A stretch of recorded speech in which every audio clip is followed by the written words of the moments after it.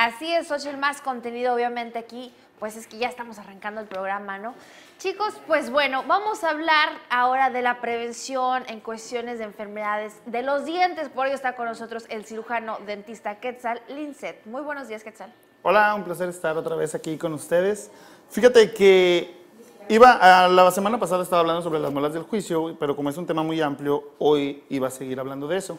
Pero ayer me tocó un caso muy triste que dije, ¿saben qué? Mejor voy a hablar de esto ahorita, que es sobre la prevención de los problemas dentales. Mucha gente piensa que ir al dentista es muy caro, pero realmente no. Lo que realmente sale caro es no ir al dentista. ¿Por qué? Porque no se trata de cuestiones monetarias, sino de quedarte sin tus dientes, sin tus órganos dentarios. Cada diente es un órgano que nosotros tenemos y el quitarlos es como una amputación que muchas veces cuando son los dientes posteriores, dice la gente, tenemos muchos, no importa, pero a ver, pónganse a pensar que se quiten un diente de enfrente, un colmillo, que sonrían y no se vea, ahí la gente se los cuida. Pero es igual de importante tanto los dientes de enfrente como los dientes de atrás. Rápidamente les cuento el caso de este paciente. Es un paciente joven de 24 años de edad, es estudiante, trabaja en una estación de gasolinera, despachando la gasolina. Tenía problemas con sus dientes, extremadamente mucho dolor, fue a mi consultorio a verme.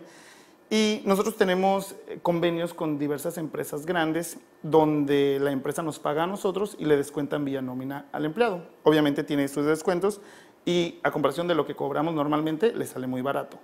Pero incluso con los descuentos que tenía, el presupuesto se le elevaba muchísimo. Entonces el paciente dijo, no sabes qué, pues no voy a tener, sácame los dientes. Y para mí que me digan, sácame los dientes cuando todavía hay opción de salvarlos, era algo así como, ¿sabes qué? Pues no. Dijo, bueno, pues entonces voy a ir con otra persona para que me lo saque. Y se paró, ya se iba le dije, no, ¿sabes qué? Detente, vamos a ver de qué manera te ayudamos.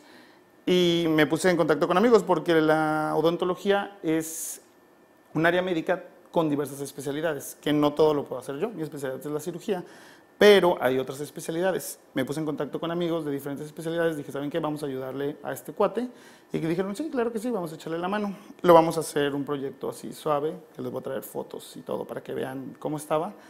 Este, pero, ¿por qué llegar a esos extremos donde por la cuestión económica ya no se puede arreglar los dientes y ya no hay otra que sacarlos o arreglarlos, pero a un precio muy alto? ¿Qué? Pues por mí mejor, ¿verdad? Entre más cobro, más gano, pero de eso no se trata, porque muchas veces yo le decía a ese paciente, mira, si estas caries te las hubieras atendido en sus estadios iniciales, a lo mejor en 15 minutos te tapo la caries y ya quedó. Pero ya estaban tan destruidos los dientes que ocupaban una cirugía para un alargamiento de corona, un tratamiento de conductos, una reconstrucción con un poste y una prótesis fija, que el precio se iba muy alto. Entonces... Así es que tal. Oye, es que, bueno, me uno en, en esta cuestión, ¿no? estamos hablando de una persona de 24 años que no se cuidaba los dientes y estaba en una etapa avanzada de caries, ¿no? Y bueno, esto no se trata de, tu cuestión socioeconómica o tu posición socioeconómica, sino se trata de que seas la persona que seas, tienes que cuidarte los dientes, ¿no? y cómo podemos prevenir ese tipo de cuestiones? Eso es muy fácil. Primero que nada, lavándose los dientes como la primera vez que dije, se los tienen que lavar. Y checándose, o sea, autoinspeccionándose. Me fijé que el otro día era el Día Mundial del Cáncer, ¿no? Que aquí estaban. Es exactamente igual, pero es muy fácil. Pónganse enfrente de un espejo, abran la boca y vean. Cuando vean que sus dientes tienen unos hoyitos negros, que tienen unos hoyotes, o cuando vean que les falta algo, obviamente está mal. O lo sientes, ¿no? Realmente si te duele cuando consumes el azúcar, ya lo hablamos el otro tiempo, eh, sodas, etcétera. Si te cepillas los dientes, si te sale sangre, o sea, eso no es normal. Cualquier cosa que no sea normal en tu organismo, te tienes que checar. Y más porque las enfermedades de los dientes no se curan solas. No es como tú te haces una cortadita en el brazo y eventualmente te curas. En los dientes no.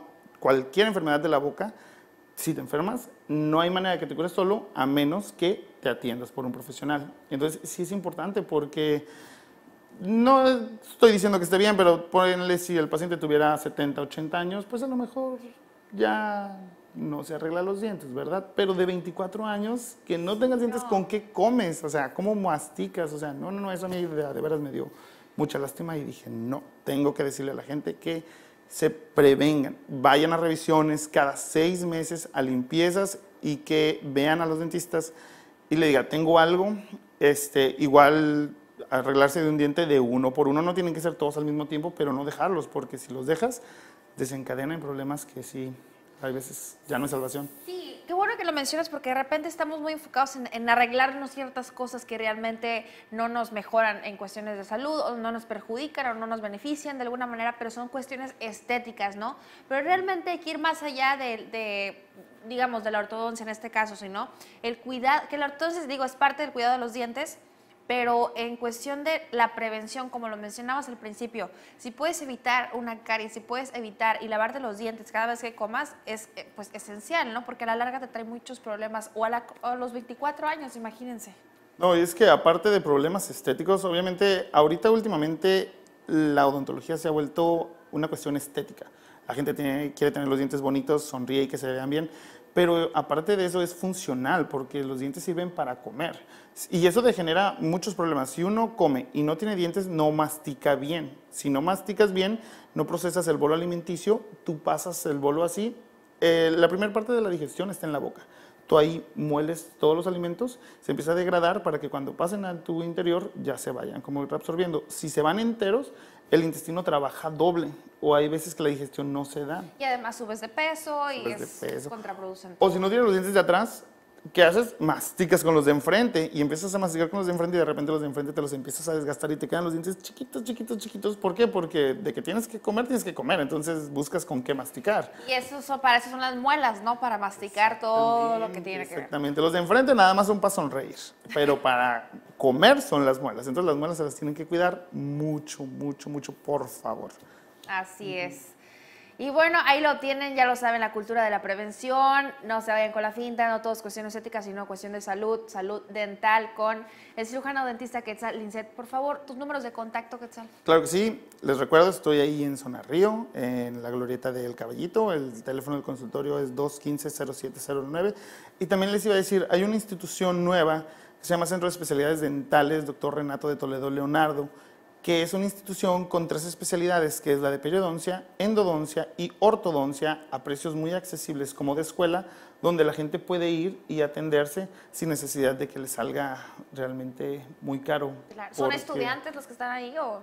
Están estudiando la especialidad. Ah, Entonces, de que los van a atender súper bien, los van a atender súper bien, a precios muy, muy, muy bajos. La próxima semana no voy a poder venir porque tengo un congreso, pero igual les mando la información para que ya lo tengan y puedan empezar a ir la gente de toda, ¿eh? Toda la gente ahí es bienvenida. Perfecto, Quetzal. Y bueno, no me despido sin antes, eh, pues de alguna manera decirte qué honor y qué gusto que pues sin que te lo pidan estén ayudando a personas tan jóvenes y que no se cuidaron los dientes a tiempo, pero qué gusto que tú y tu equipo estén de esta manera contribuyendo a una persona que lo necesita bastante.